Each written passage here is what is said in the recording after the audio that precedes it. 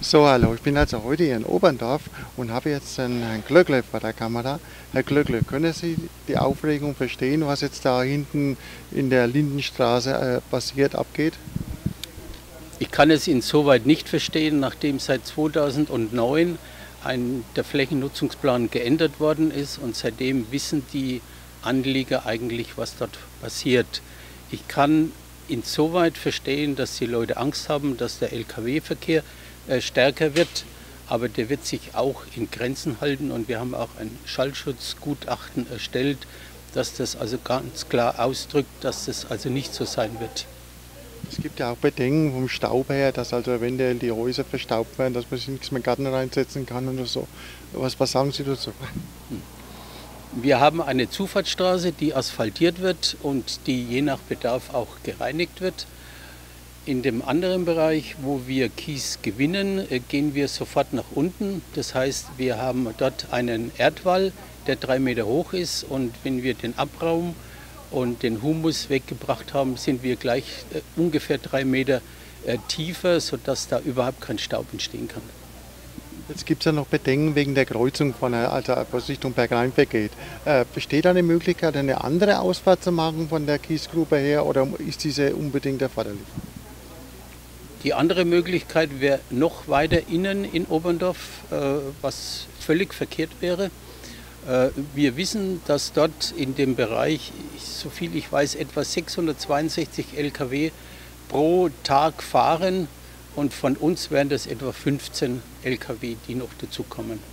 Also 15 LKWs pro Tag würden also aus dieser Grube rausfahren? Also das wäre im Durchschnitt, das wird manchmal mehr, manchmal weniger werden, aber im Durchschnitt sind es 15 Lkw. Dann gab es ja Bedenken, dass eventuell Häuser abrutschen könnten in die Grube oder so. Was sagen Sie dazu? Ich habe es gerade schon mal erläutert. Äh, wir sind fast 100 Meter von diesem Haus entfernt. Äh, ich, ich kann heute schon garantieren, wenn das Haus reinrutscht, dann wird es erneuert. Aber das wird nie und nimmer passieren.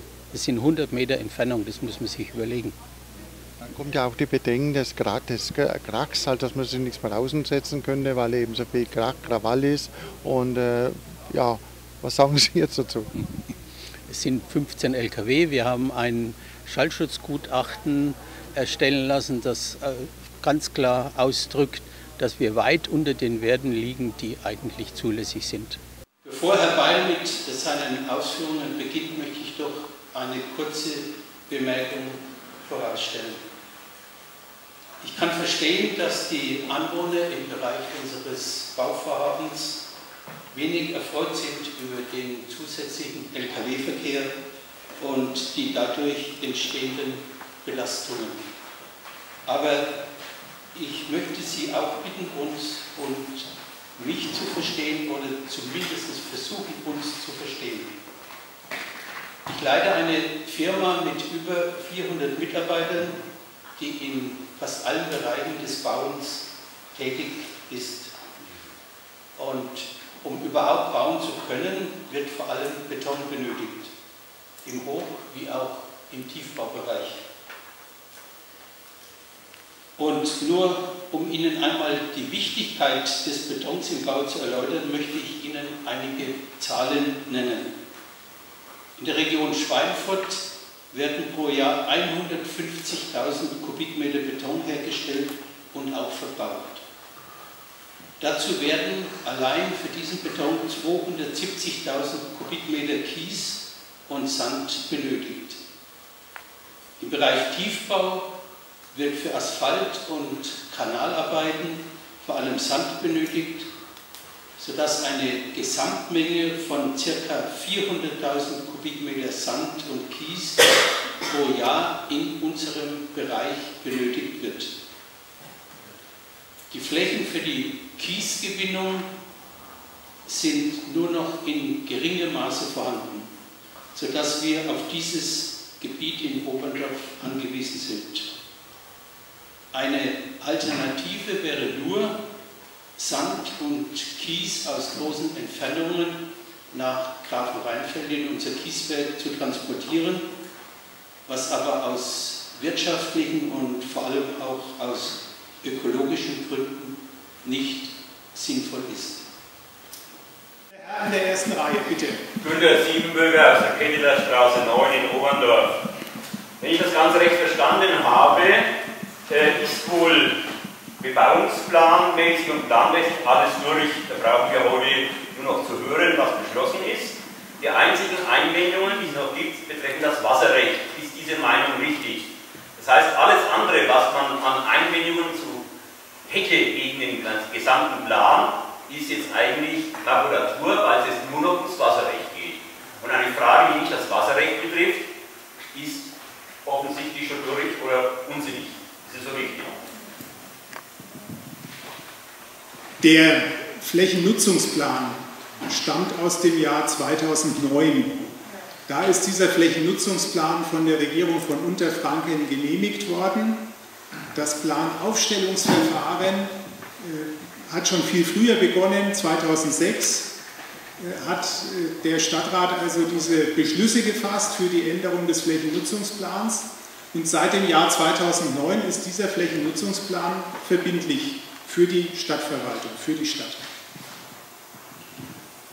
Also insofern, insofern äh, ja, der Flächennutzungsplan ist seit 2009 verbindlich und, und zu wurden die Häuser dort ähm, errichtet und nun wird dort äh, ein Gewerbe oder ein, ein, ein, Abbau betrieben. Ist nicht so, dass für die Anwohner, die dort betroffen sind, dass es die nicht nur lärmmäßig ähm, belästigen wird, sondern eben auch eine Wertminderung ihrer Immobilien zur Folge hat? Also ich gehe jetzt davon aus, dass Sie auch in Oberndorf wohnen. Ich möchte, das hier, ich möchte hier keine Pressekonferenz abhalten. Ich beantworte Ihre Frage. Ich möchte es nur sagen, es ist eine Bürgerinformationsveranstaltung, die sich natürlich an die Bürger richtet. Trotzdem ist die Frage ja berechtigt. Wenn Sie da sehen, sehen Sie, vorher war im Flächennutzungsplan dort ein Gewerbegebiet vorgesehen. Keine landwirtschaftlichen Flächen, Gewerbegebiet. Äh, und insoweit ähm, darf man hier nicht vergleichen landwirtschaftliche Flächen mit einem Kiesabbau, sondern muss äh, sich durchaus fragen, was denn die äh, schlechtere oder bessere Variante gewesen wäre vor einem Wohnbaugebiet. Und insofern darf ich die, die ähm, ja, getane Aussage hier ein wenig relativieren, dass die Stadt Schweinfurt ähm, zugesagt hätte, das seien landwirtschaftliche Flächen. Das mag eine Momentaufnahme gewesen sein. Im Flächennutzungsplan waren es damals, waren es damals äh, Gewerbeflächen. Äh, und nochmal, die Änderung des Flächennutzungsplans hat mehrere Jahre äh, benötigt. 2006 war die Behandlung im, städtischen Gremium, im Stadtrat nur die Genehmigung der Regierung. Also es gab danach mehrere Verfahrensschritte, also es war auch mehrmals im Stadtrat behandelt. Mein Name ist Evelyn Hastmann, ich wohne in dem Neubaugebiet, das ist die Kirchenstraße 3 und ich kann mich der Frage des Herrn mal anschließen. Ich habe mich 2006 entschieden, äh, in diesem neuen Wohnbaugebiet, was ja für Familien extra von der Stadt eingerichtet wurde, ein Grundstück zu kaufen, ein Haus zu bauen. Und mir wurde eben die Aussage gegeben, da bleibt alles so, wie es ist, landwirtschaftliche Nutzung und nichts Deshalb meine Frage, wie können Sie jetzt mit Ihrem Gewissen vereinbaren, dass dann einige Jahre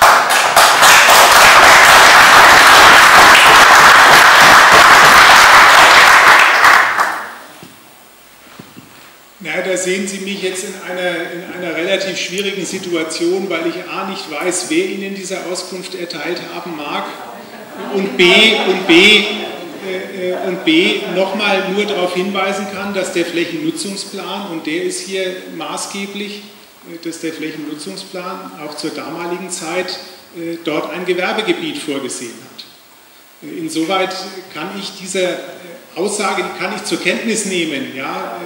Ich kann aber hier die weder verteidigen oder, oder rechtfertigen, ich kann sie schlichtweg zur Kenntnis nehmen äh, und auch nur zur Kenntnis geben, dass diese Aussage äh, dann äh, im Widerspruch zum Flächennutzungsplan stand. verlasse mich als Bürger aber auf die Aussage der Stadt. Ähm, ja, ich weiß aber Namen. Ich weiß. Du weißt auch. Die, die Dame in der vierten Reihe, bitte. Mein Name ist Barbara Markus, ich wohne in Boxheim und äh, bin Eigentümerin äh, der Kirchner Straße 21 und 23. Meine Frage geht noch ein Stück zurück, Herr von Lacken. Warum hat die Stadt überhaupt dieses Baugebiet erschlossen, wenn sie dann im Hinterkopf hatte, dass sie dort Kies baggern lassen will? Das ist doch die Frage. Die Altbesitzer haben bezahlen müssen, damit die Stadt ihre Bauplätze verkaufen konnte, die sie dort hatte. Und das ist eigentlich das Verwerfliche, weil es das Umlageverfahren, die letzte Rechnung haben wir bezahlt in 2008. Das heißt, es war noch gar nicht abgeschlossen, da hat die Stadt schon wieder ihren, ihren Nutzungsplan geändert. Ich finde, das ist nicht in Ordnung, wenn man ehrlich mit seinen Bürgern umgehen will.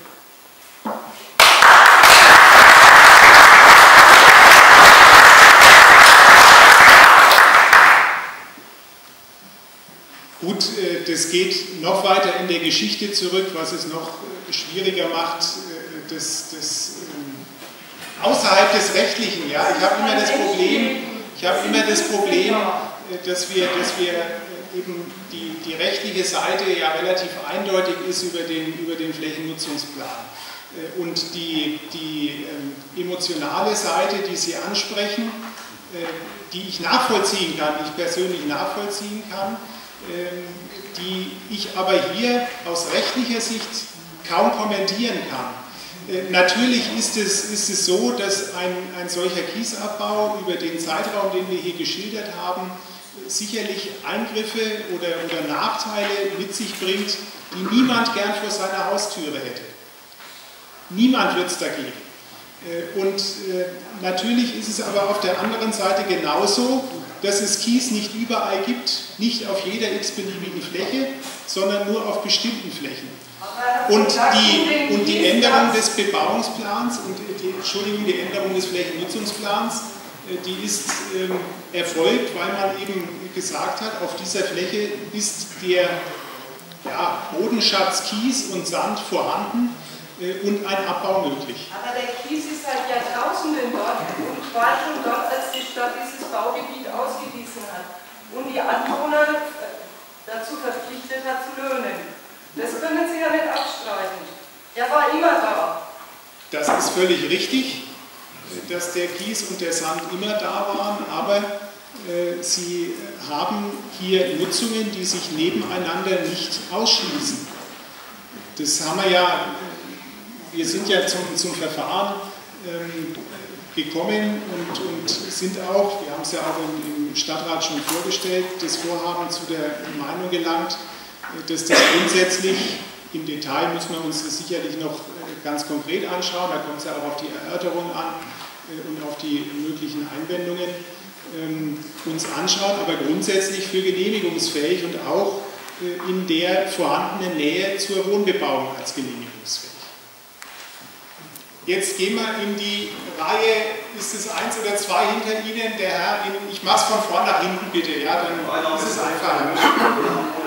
Straße und unmittelbar betroffen nach der Frau ist das die einzigste Fläche in dem Oberdorfer Grund, die sich zur Kiesabbau leitet. Was ist mit der Fläche hinten, wo doch schon Kies abgebaut worden ist? Warum ausgerechnet noch bis vor der Haustür? Es kann doch nicht die einzigste Fläche sein. Rohstoff ist da, Samenpreis gelegen. Aber bei uns direkt vor der Tür, es muss es andere Möglichkeiten geben. Sind die nicht in der Welt gezogen worden? Also ähm, ich kann, ich kann ähm, ich weiß nicht, ob die Firma Glöckle noch was dazu sagen kann. Äh, wir können nur sagen, dass es sicherlich damals im, im Zuge äh, der Änderung des Flächennutzungsplans auch geprüft wurde. Ja. Aber ob und wie weit da die, die Bodenschatzvorkommen tatsächlich rüberreichen, kann ich äh, Ihnen jetzt nicht beantworten, die Verwaltungsbank auch nicht. Vielleicht kann die Firma Glöckle was dazu sagen. Ich kann vielleicht kurz was dazu sagen. Wir haben das natürlich überprüft, wo es noch Kies gibt. Und wir haben, vielleicht sieht man das hier auf dem Bild, wir sehen da ganz genau, dass wir in dem oberen Bereich, also hier ganz oben, praktisch keinen Kies mehr haben. Also der Kies wird von hier nach oben immer weniger. Und wir werden in dem oberen Bereich im Höchstfall noch zwei, zwei Meter Kies haben. Und deswegen haben wir auch gesagt, weiter nach oben hat es keinen Sinn, dort noch Kies ja, zu gewinnen. in den Glücklisanlagen? Wir, wir haben überall Bohrungen gemacht und wir wissen, wo, wo Kies ansteht und wo nicht. Meine, wir, wären ja, wir wären ja froh, wenn wir noch, noch andere Städten finden würden, wo wir Kies abbauen können. Da, da ist nur der Ober der Wunder.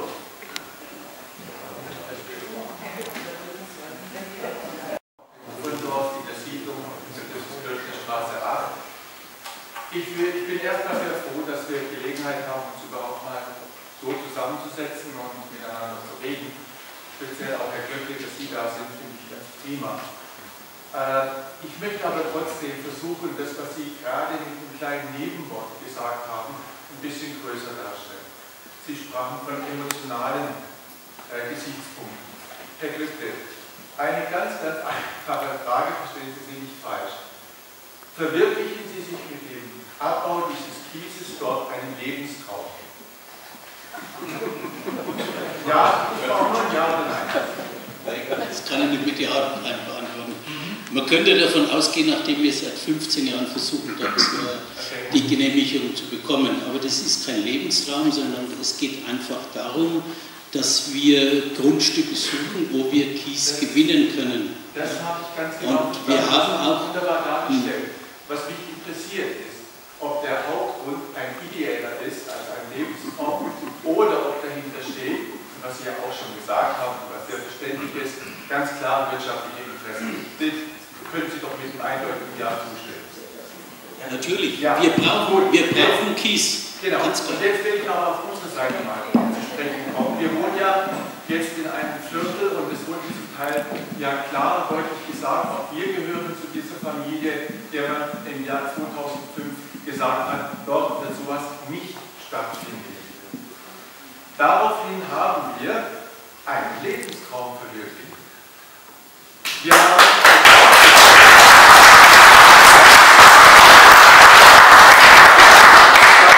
Damals hat die Stadt speziell uns als Familie mit kleinen Kindern angeworben, dort zu bauen. Ganz klar.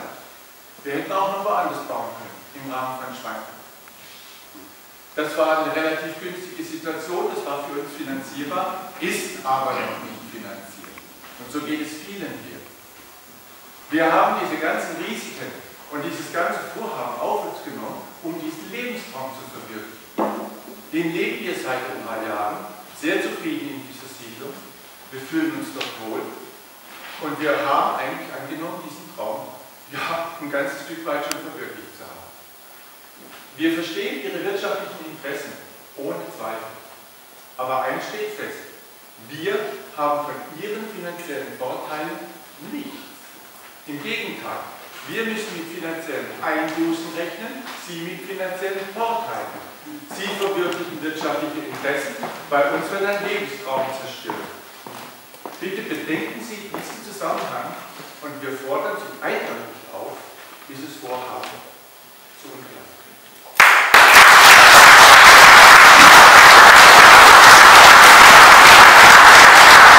Die Gabi Koch, direkt in die Straße 28, das letzte rote Haus vor dem Abbaugebiet.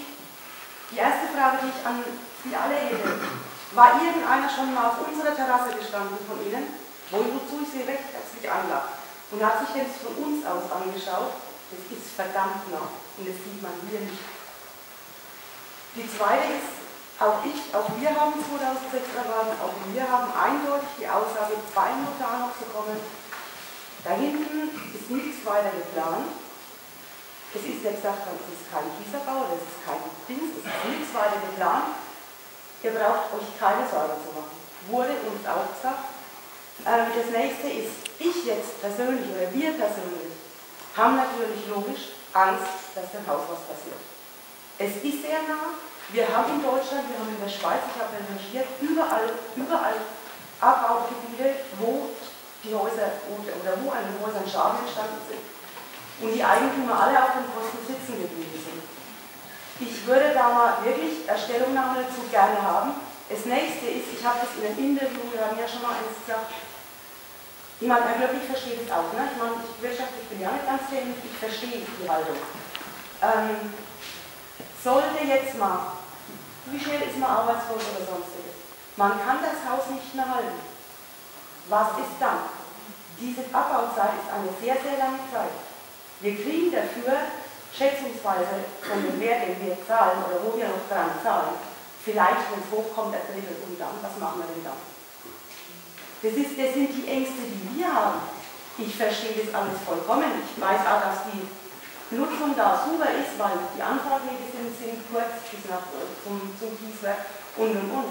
Aber in Notsituationen nützt uns das nichts und ich glaube nicht, dass irgendeiner von den Herren in einer Notsituation hinter uns steht und sagt, helft uns. Und das ist das, was mich wieder böse macht.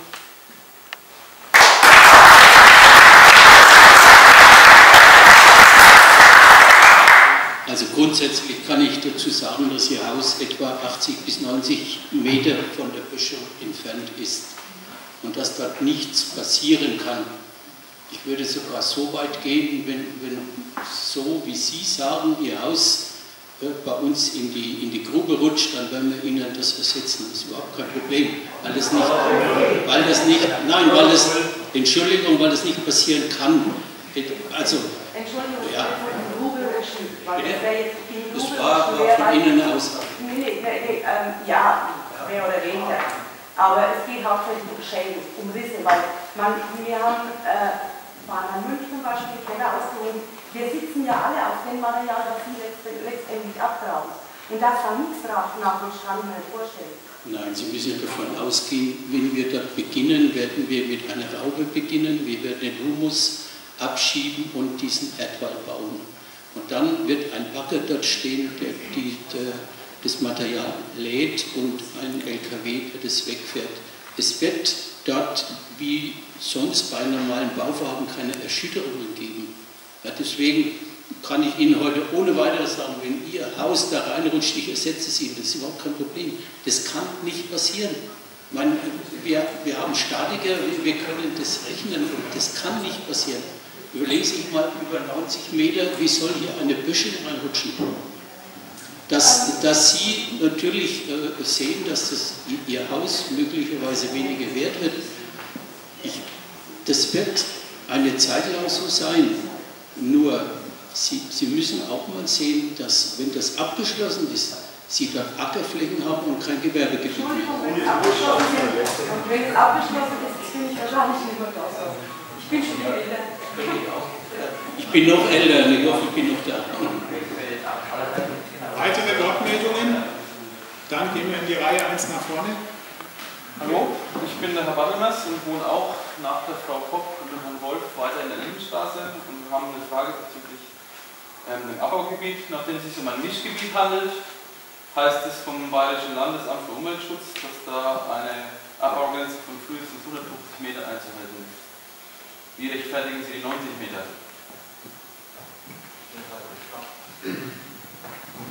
Da muss ich gleich widersprechen. Ähm, Das ist zwar richtig, es gibt ein, ein, ähm, eine Planungshilfe äh, des Bayerischen Landesamtes für Umwelt.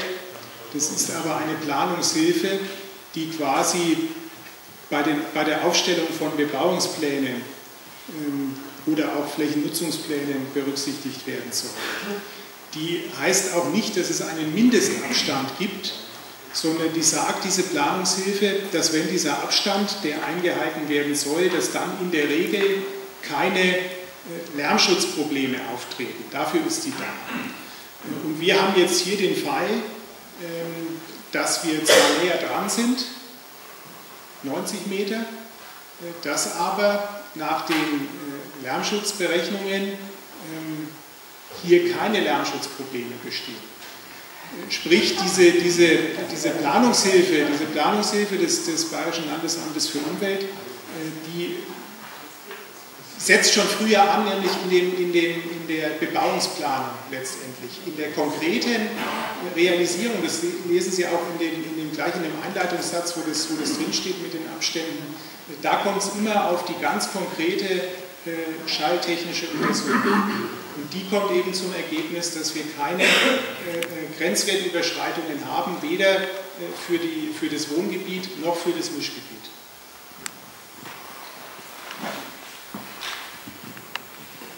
Ja, ich gehe jetzt, mache jetzt gleich vorne weiter, dann kann ich dann wieder nach hinten rücken. Ja, bitte.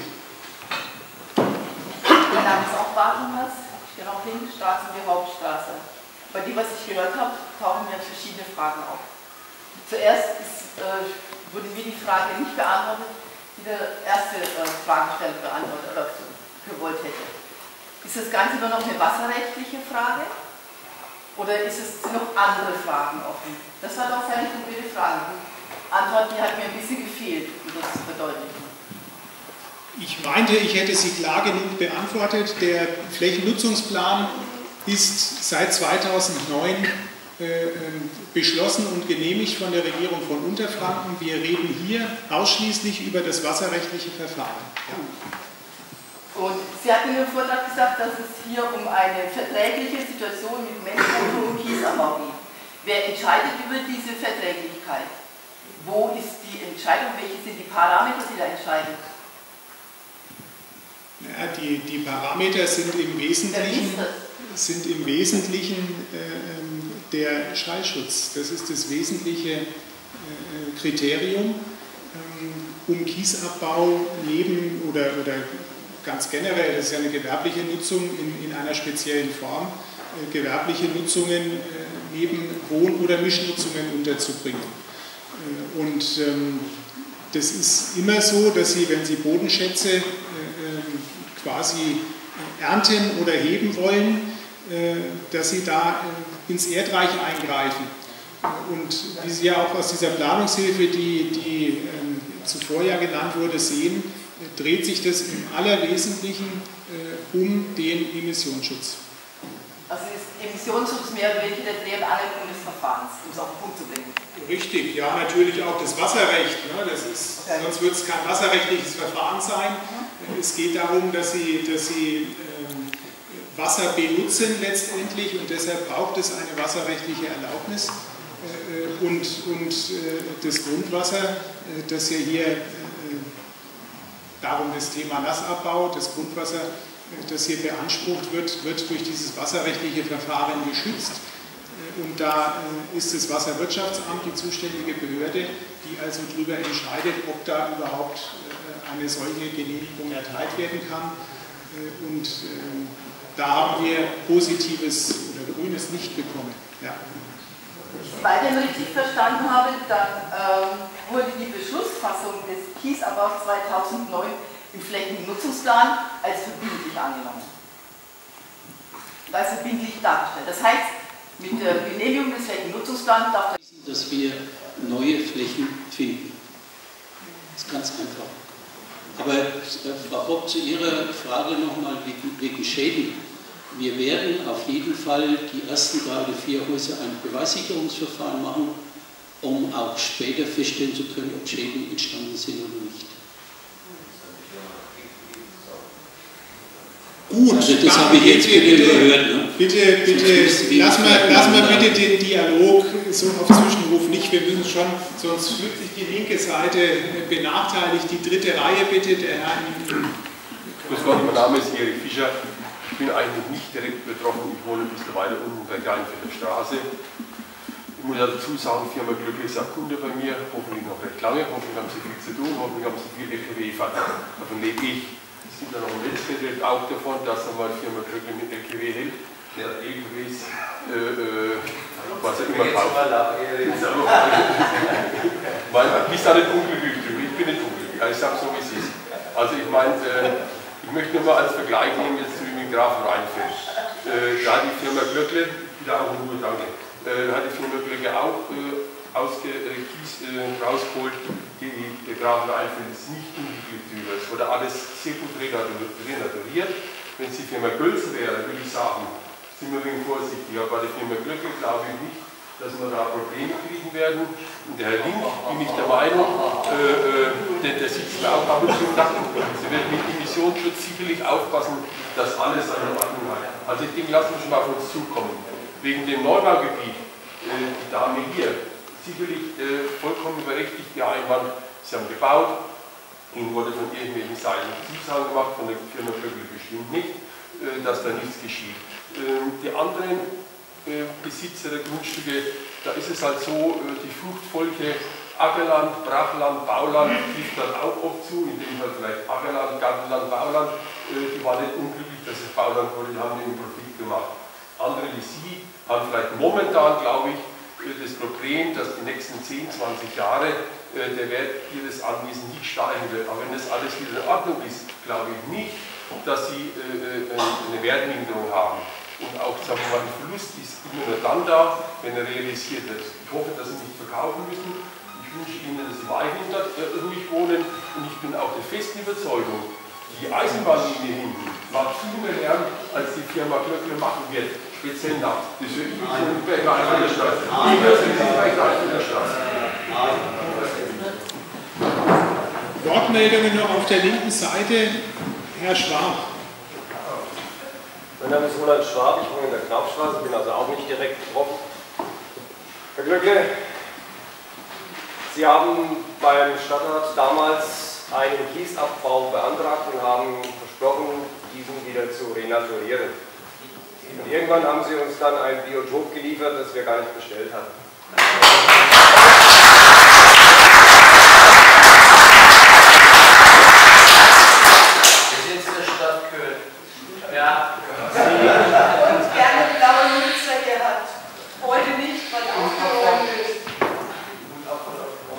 Sie haben, Sie haben Ihren Ruf dadurch etwas beschädigt.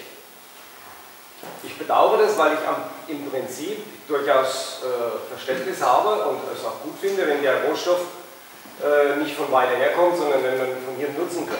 Wenngleich es sich dabei um, das muss man ganz klar sehen, um Raubbau handelt. Es ist ja keine Nachhaltigkeit in der Hinsicht, dass Sie ein Recycling daraus treiben. Aber wie wollen Sie bei, diesem neuen, bei dieser neuen Fläche, vor allen Dingen über einen Zeitraum von 30 Jahren, sicherstellen, dass Sie nicht wieder einen Kiesabbau beantragen und uns dann ein Biotop liefern?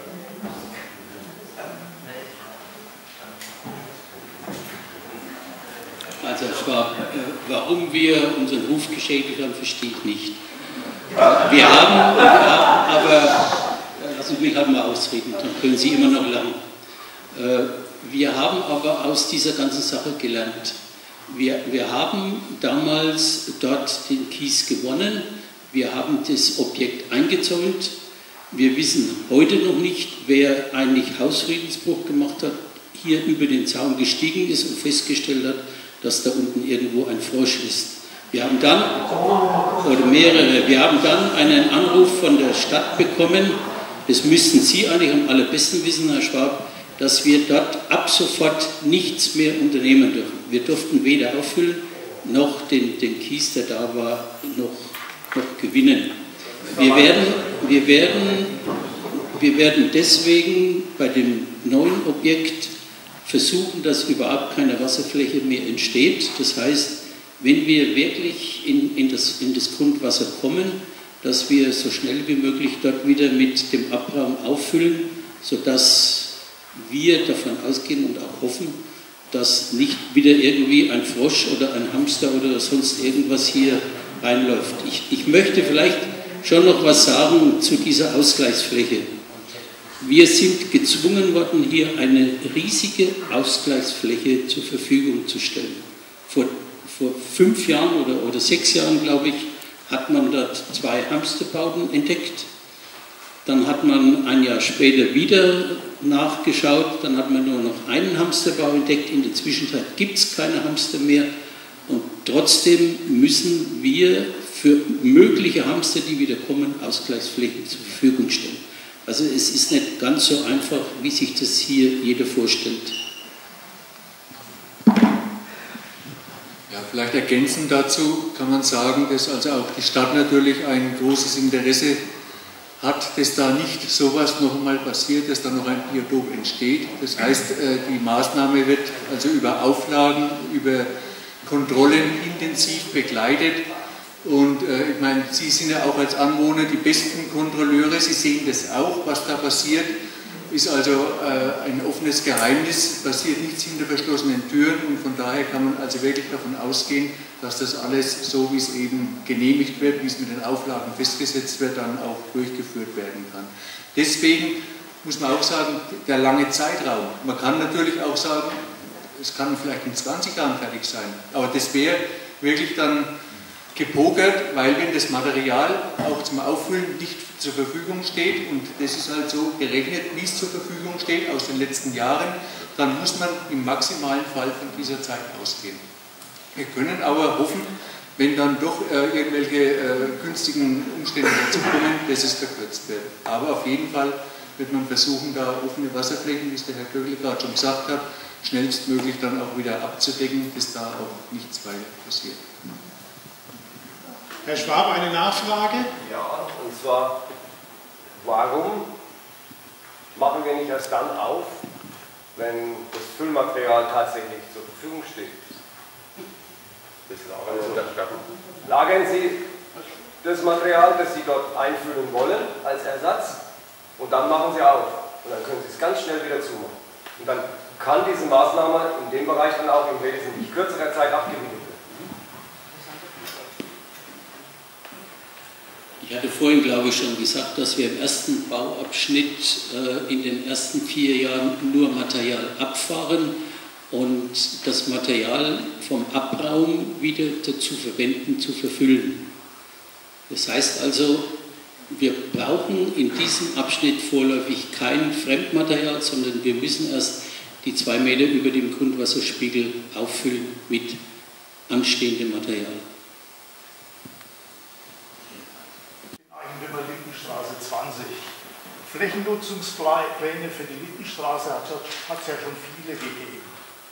Welche Möglichkeit sehen Sie, dass der bestehende Flächennutzungsplan, der offensichtlich hinter dem Rücken der meisten äh, Bewohner dieses Neubaugebietes geändert wurde, geändert wird?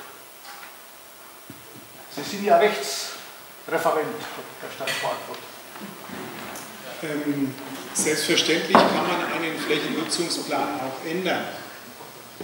Ähm, das ist ein Verfahren, das dauert mehrere Jahre. Ich habe es vorhin ja auch geschildert.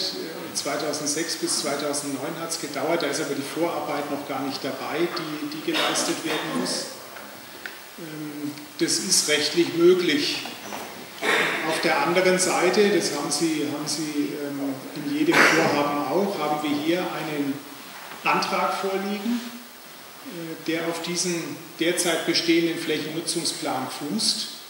Und insofern wird eine Änderung so ohne weiteres nicht mehr möglich sein.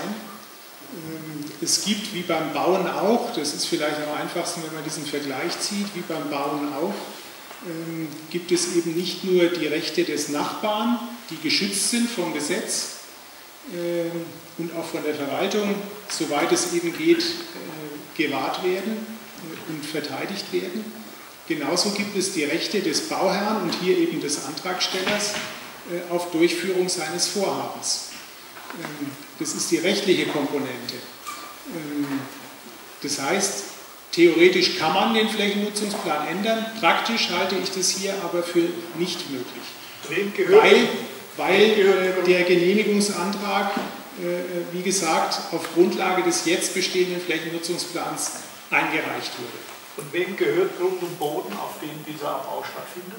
Gehört mehreren Privateigentümern. Bestehen da schon Verträge? Ob es Verträge gibt, ist mir nicht bekannt, kann die Firma Glöckle vielleicht was dazu sagen.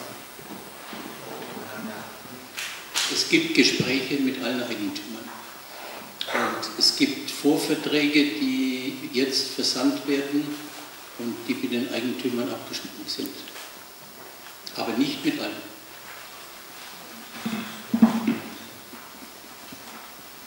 Weitere Fragen? Jetzt gehen wir wieder auf die rechte Seite, zweite Reihe bitte. Eine Frage nach Hai. Ich habe einen wunderbaren Plan aufgestellt von einem Meter Unterboden. Könnten Sie noch Ihren Namen sagen, dass wir das fürs Protokoll haben?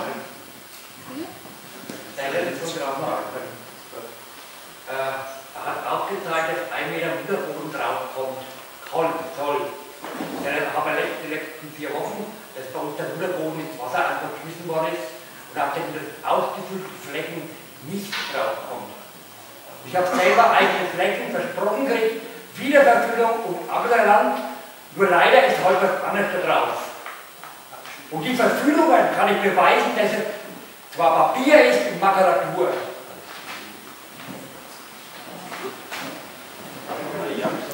Ich weiß nicht, ob Sie von Grafenrheinfeld sprechen? Ich spreche von Grafenrheinfeld. Okay. Ich spreche vom Plan, der aufgezeigt worden ist, was rein soll und ein Meter Unterboden oder Leben. Es gibt in Grafenrheinfeld eine Planung von, auch von einem Landschaftsarchitekten, wo genau festgelegt worden ist, was aufzubringen ist. Wir haben dort teilweise Flächen, die im Wasser liegen, wo natürlich kein, kein Humus aufgebracht wird. Es gibt andere Flächen, wo man vom Naturschutz nicht will, dass dort sehr, sich sehr viel entwickelt und danach müssen wir uns halten. Sie haben, Sie haben in einem Recht, dass wir dadurch dort zu viel Mutterboden haben und eigentlich durch die großen Seen äh, den Mutterboden gar nicht mehr aufbringen können. Antwort war dann wir haben, sehr viel, wir haben sehr viel Mutterboden in Grafenrheinfeld, den Sie sehr billig äh, bekommen können. Nur es will keiner Mutterboden. Das ist das Komische. Sie haben Flächen ausgedrückt und haben als Mutterboden den zweiten Abbau aufgetragen. Als ackerbaufähige Fläche. Kann ich beweisen. Und da glaube ich nicht, dass Sie einer Meter Mutterboden nachher aufbringen. Das ist heute schon nicht machen. Gut, weitere Wortmeldungen. Die dritte Reihe. Ja,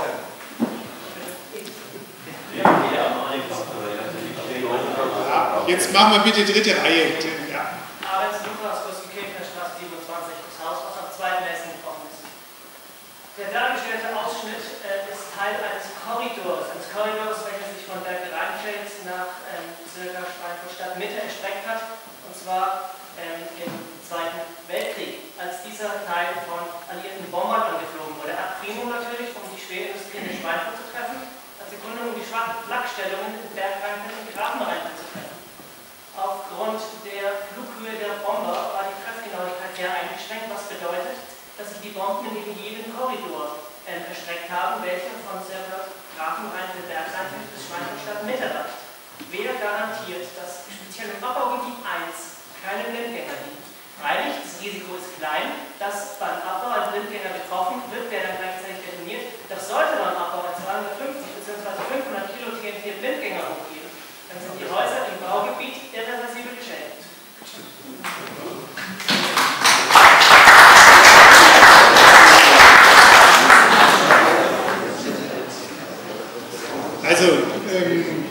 Es gibt für, für äh, Bombenabwürfe äh, Luftbildaufnahmen, Kataster, äh, die aus der Zeit der Bombenabwürfe stammen.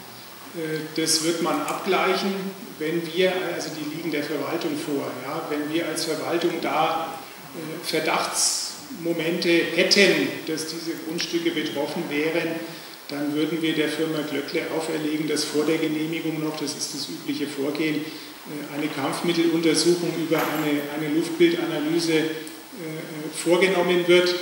Das läuft also in mehreren Schritten ab. Es wird halt das Luftbild abgeglichen, dann wird also über, da gibt es spezielle Firmen, ähm, quasi Sondierungen gemacht, wo diese Blindgänger runtergegangen sein könnten.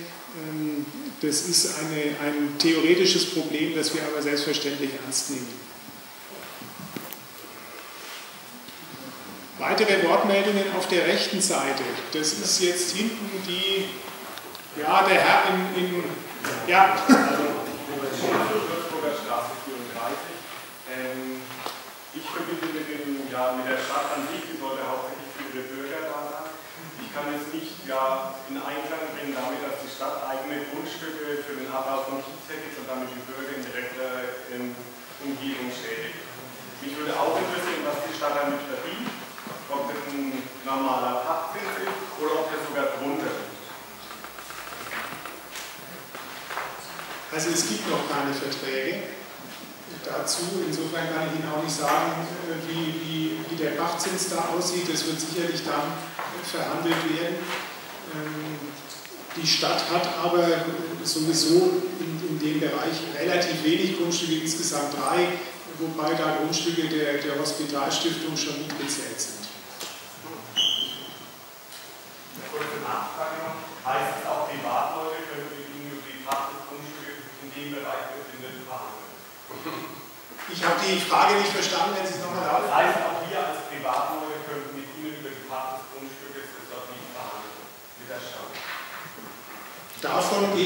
Gehe ich aus, ja. Müssen Sie dann den. Gut, weitere, weitere Fragen auf der rechten Seite. Frau Kowald. Ich wohne auf der anderen Seite der Würzburger Straße. Aber ich habe äh, ein paar Fragen. Und zwar, wir sind ländlich in Oberndorf und wir haben auch noch Bauern hier. Wir nehmen denen jetzt quasi 12 Hektar Feld weg. Wir gräbt denen im wahrsten Sinne des Wortes auch das Wasser ab. Das ist die erste. Zweitens, die Stadt Schweinfurt hat kaum Baugelände. Ganz, ganz wenig. Warum gibt man das letzte Stück Baugelände, was die Stadt hat, auch noch für den Kiesabbau weg?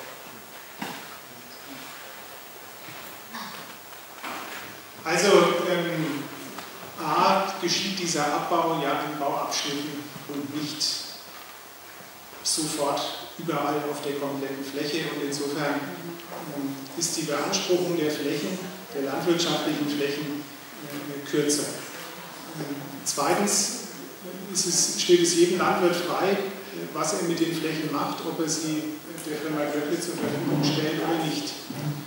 Äh, und weiter, ähm, es sind ja nach dem derzeitigen Flächennutzungsplan eben keine Bauflächen, sondern sie sind nach dem derzeit gültigen Flächennutzungsplan Kiesabbauflächen äh, und insofern nehmen wir auch keine Bauflächen weg.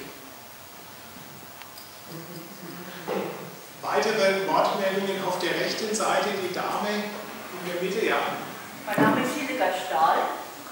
Ich wohne zwar in der Würzburger Straße, habe auch ein Grundstück in der Lustigkirchenstraße, ein Baugrundstück, was natürlich an Wert verliert, so wie ich das sehe. Und meine Frage ist die, welchen Weg werden die Sand- und Kieslaster ab dem Abraumplatz nehmen? Werden die durch die Würzburger Straße fahren oder werden sie ja, Autobahn oder sonst wohin kommen?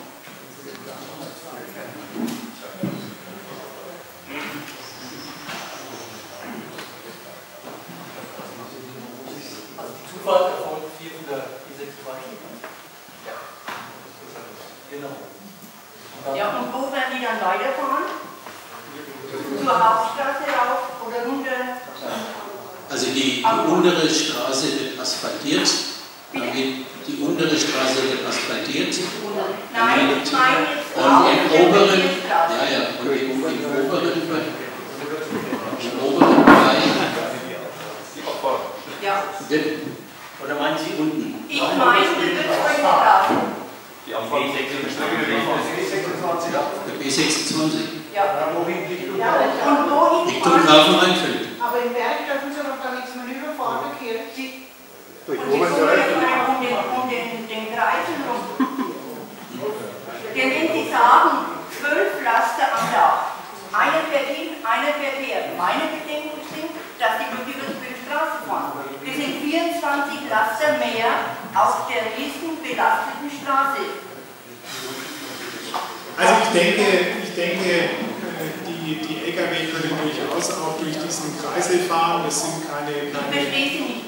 Die Lkw können, können äh, ohne weiteres durch den Kreisel fahren, über die Autobahn. Äh, Das funktioniert. Ich denke, nachdem aber Sie jetzt ähm, die Frage des Lärms, der Lärmzunahme angesprochen haben, wir haben ja einen Fachmann da, äh, würde ich doch darum bitten, dass, dass vielleicht ähm, da noch, noch Ausführungen kommen und der Herr Tasch vielleicht ein, zwei Worte zu den, zu den Schallwerten sagt.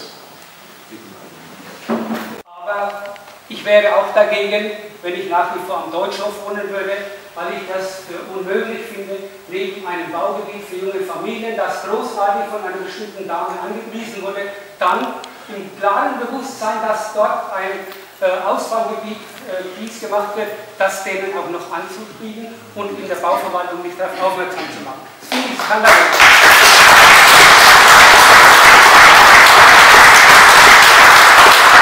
Der Herr von Lackum kann nichts dazu. Er ist neu bei uns. Herr Dr. Wiener, ich, ich möchte Sie auch bitten, äh, einfach der Fairness halber, das ist eine Veranstaltung für Bürger und, und keine äh, irgendwie, ich, ich möchte parteipolitisches Couleur hier draußen halten. Bitte, bitte, Moment, Moment, Moment, Weiteres gesagt und deshalb würde ich Sie bitten, Herr Dr. Wiener, dass Sie Ihre Fragen stellen. Dann kommen wir auch mit den Zeitungen, wir haben noch Wortmeldungen durch. Ich stelle nicht nur Fragen, sondern ich kritisiere konkrete Aussagen. Ja. Beispielsweise, wenn ein von der Firma Glöckle, die ich übrigens als sehr zuverlässig und für die Stadt Schweinfurt sehr wichtig einschätze, das weiß Herr Glöckle selbst, was mich aber nicht daran hindert, Dinge, die ich als Ingenieur nicht für korrekt empfinde, zu sagen. Und was der Herr Taschke von sich gegeben hat, dass ein Lärmschutzwall nichts bringt, das ist für mich sowas von unverständlich, wo ich den Beweis habe, dass am Deutschhof der Lärmschutzwall zur Straße auch hervorragende Wirkung hatte und dass der Lärmschutzwall in Böhmerland an der Eselshöhe äh, ganz klar gemessen wurde und auch hervorragende Wirkung hatte. Ein Busch bringt nichts, ein Erdbach bringt auf jeden Fall was. Mich wundert es nur, dass der Lärmschutzwall nur im oberen Bereich und nicht auch bis zur Würzburger Straße geplant ist. Dann, äh, was in meinen Augen wichtig ist, äh, sind. Ich habe gesagt, Sie beraten. Ja. Beim Lärmschutz gibt es wunderbare Manipulationsmöglichkeiten, wenn man es will. Man kann natürlich, es ist halt so nach der TH-Luftvorschrift, da gibt es Durchschnittswerte und gibt Spitzenwerte. Der Herr Glöckle hat auf seinem Gebiet, wo er jetzt äh, Lagerstelle hat, beispielsweise ein, ein Großraumfahrzeug eingesetzt. Und das war in letzter Zeit der Westbild. Und beim Rückwärtsgang gibt es das. Fragen Sie mal alle Anwohner. Ja. Dass der garantiert die Werte der TA Luft eingehalten hat, dafür lege ich meine Hand ins Feuer. Aber wenn Sie den ganzen Tag, der hat zwei oder drei Tage gebraucht, um da was zu machen, dieses Geräusch hören, das ist ekelhaft. Und wenn ich mir vorstelle, dass halt dann die Bagger kommen oder die LKWs, die Einzelgeräusche, es ist halt was anderes, als wenn ich die dann mittlere mit meiner Berechnungsgrundlage nach der Teerluft, muss man einfach unterscheiden. Dasch, fairerweise müssten Sie das auch sagen, dass das individuell unterschiedlich empfunden wird. Jetzt vom Verfahren, Herr Lacken. Natürlich, wenn man das so sieht, liegt einem doch nahe zu sagen, Mensch, Herr Gömme, dieses Gebiet C1, tauschen wir doch mit dem Abbaubereich 1. Denn der Feldhamster fühlt sich rechts am Biotop genauso wohl wie in den blauen Feldern. Und die anderen werden dann viel weiter.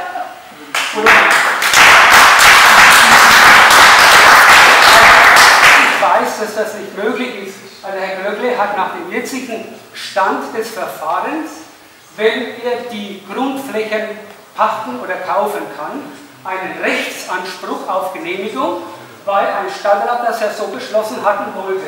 Also ist meine Erwartung, Herr Glöckle, dass Sie selbst, wenn Sie persönlich versuchen, das ist jetzt der Punkt, wo ich sage, das ist der Wert, den wir noch erreichen können über das wasserrechtliche Verfahren hinaus, selbst wenn Sie versuchen wollten, noch irgendwas zu verbessern, Sie haben nach wie vor die sichere Rechtsposition. Und alles, was Sie jetzt an Bedenken der Anwohner aufnehmen, um die wir, Stau- und Lärmschutzbedingungen zu verbessern, zu minimieren, ist ihre freiwillige Leistung. Ist mir völlig klar. Aber trotzdem sollte man die aussprechen. Und eins ist auch klar, was hier gesagt wurde, einer, der hier jetzt gebaut hat und kann aus irgendeinem Grund sein äh, Haus nicht mehr den Schulddienst leisten und muss es verkaufen, wird mit Sicherheit eine Wertminderung dadurch erfahren, dass die Käufer ja mittlerweile auch durch diese Veranstaltung erfahren, ob da, ist was im Gange. Nee, da, da kaufe ich kein Haus, was nah dran ist. Also das ist ja. Drum die Frage jetzt konkret. Äh, wie viele LKWs pro Werk da und würden Sie also als maximal zulässig sehen? Sie sagen vom Schnitt von 12. Würden Sie sagen, dass Sie das intern als Betriebsvorgabe machen können, dass es eine Obergrenze gibt? Das ist die eine Frage. Die zweite, äh, kann man dafür sorgen, äh, ich weiß, man kann es, dass die Zufahrtsstraßen keine Rennstrecken werden. Ich gehe auch davon aus, dass man den kurzen Weg nimmt und nicht durch die Lindenstraße sich durchschnellt, wo die LKWs mittlerweile ja Probleme haben, überhaupt durchzukommen. Aber äh, dass sie auch dann sagen ihren Leuten, bitte fahrt hier vorsichtig und langsam, da wohnen ganz aufmerksame Anwohner mit Teleobjektiv und Lärmschutzmessungen. Da wollen wir uns nichts nachreden lassen. Wir sind eine renommierte Firma in Schweinfurt und wenn wir zusagen, das zu tun, was zu minimieren ist, dann halten wir das auch. Und noch eine Frage ist mir gekommen. Äh, ich kenne jetzt den Unterschied vom Lärmschutz, von Betriebsweise zwischen Trockenabbau und Nassabbau nicht. Bei Ihnen ist ja beides möglich. Gibt es, wenn Sie da noch eine Auskunft geben können, ob es hinsichtlich Trocken- und Nassabbau hinsichtlich der Lärmemissionen Unterschiede gibt, ob Sie eventuell eine Sortier- und Reinigungsanlage vor Ort auch brauchen, damit äh, das halt im gereinigten Zustand dann weiter begeben wird. Können Sie zu diesen Fragen noch was sagen? Okay, ich habe vorhin schon ausgeführt, dass wir beabsichtigen, dort einen Bagger abzustellen und mit einem LKW äh, den Kies abzufahren. Das heißt, der LKW-Fahrer wird sich selbst beladen und wird wieder zurückfahren. Äh, wir gehen davon aus, dass er etwa 50 bis 60 Minuten braucht für eine Fahrt und deswegen kommen wir auf diese 10 bis, bis 15 LKW. Es ist aber nicht ausgeschlossen, das möchte ich also hier schon sagen, dass wir irgendwo Auffüllmaterial bekommen, zum Beispiel in Richtung Grafenrheinfeld und dann versuchen mit dem LKW, der den Aushub bringt, auch das Kiesmaterial wieder nach Grafenrheinfeld zu fahren. Das heißt, es könnte schon sein, dass es auch Tage gibt, wo mehr Lkw-Verkehr ist, dafür wird sich das an anderen Tagen wieder reduzieren. Zu der, zu der Zufahrt ähm, hatte ich vorhin schon ausgeführt, wir werden dort ein Schild aufstellen, das 20 Kilometer pro Stunde gefahren werden darf. Wir werden die Lkw-Fahrer, zumindest die, die den Kies abholen, instruieren, dass sie auch nicht länger fahren dürfen. Wir können natürlich für Firmen, die wir nicht so im Griff haben, nicht garantieren, dass da mal einer dabei ist, der schneller fährt. Aber da müssen wir halt dann eben einschalten. Jetzt weiß ich nicht, was noch. Ja gut, äh, nein.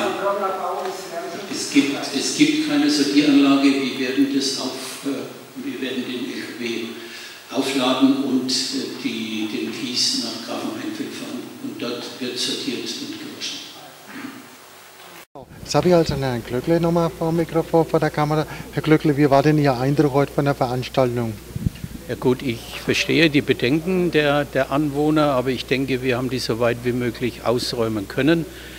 Insgesamt muss ich sagen, dass es eine sehr faire Diskussion war und ich denke auch, dass wir doch die meisten der, der Anwohner etwas beruhigen konnten. Wie lange haben Sie denn jetzt noch Kies zur Verfügung? Ich habe ja vorhin gehört, es geht nur noch ein paar Jahre und Sie brauchen dieses Gebiet unbedingt, gell? Wir haben in unserem jetzigen Abbaugebiet in Grafenrheinfeld noch etwa fünf Jahre Kiesvorräte und deswegen sind wir ja so dahinterher, dass hier diese, äh, dieses äh, Vorhaben jetzt auch so schnell wie möglich realisiert werden kann. Also dieser Kiesabbau ist auch für die Firma Glöckle sehr, sehr wichtig. Ja, das ist für uns sehr wichtig, weil wir sonst äh, Material von sehr weit her transportieren müssten. Und es ist weder wirtschaftlich äh, sinnvoll noch auch von der Ökologie her sinnvoll. Also gut, Dankeschön. So, jetzt habe ich vor der Kamera den Herrn von Lacum. Und wie war denn Ihr Eindruck von der Veranstaltung und von den Menschen, die hier waren, von den Bürgern Ihrer Sorgen? Also ich habe die Bürger schon als sehr besorgt wahrgenommen. Ähm, ich kann die Sorge auch nachvollziehen weil natürlich unmittelbar vor den, vor den Toren von Oberndorf, 100 Meter Entfernung zur, zur Wohnbebauung, hier dieser großflächige Kiesabbau stattfinden soll. Trotzdem bin ich sicher, dass wir mit dieser Bürgerinformationsveranstaltung außerhalb eines förmlichen Verfahrens den richtigen Schritt gemacht haben, dass wir hier vor Ort gekommen sind, auch die Firma Glöckle gebeten haben, diesen Schritt mitzutun und aktiv auf die Bürgerinnen und Bürger zuzugehen, um eben hier ähm, das Verfahren zu erläutern, den, den, ja, den Abbau zu erläutern.